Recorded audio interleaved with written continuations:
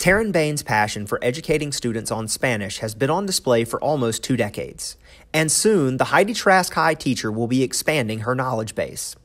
Bain was one of 71 people chosen from around the United States to take part in the Fulbright Teachers Global Classrooms program. I applied for it in March and um, I heard about it and it's like, well, why not? I'll take a shot.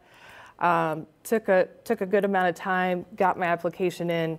Um, and I thought, you know, someone from Rocky Point isn't going to be a Fulbright scholar. And so um, when I got that notice that I'd gotten it, I was, I'm floored. I'm ecstatic. I cannot wait to get started.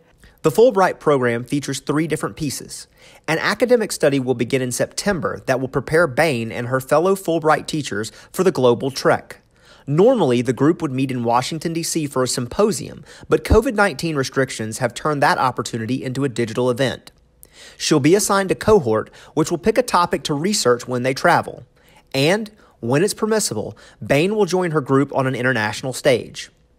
After the trip, she will complete a capstone project discussing what she learned and how it can be implemented in Pender County. For me to have an experience like this is going to bring a whole wealth of knowledge that I wouldn't have if I just stood in front of the classroom every day. Um, so it's going to be a lot of work, but I really feel like my kids are going to benefit from it. Um, and I can't wait to bring back what we learn um, and to take them through the whole process with me. So the more I learn, the more I'll, I'll be able to teach them.